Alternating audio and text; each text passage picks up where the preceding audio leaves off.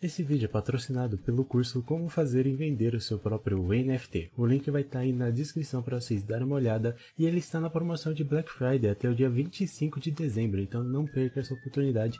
O link vai estar tá aí na descrição para você conferir o curso.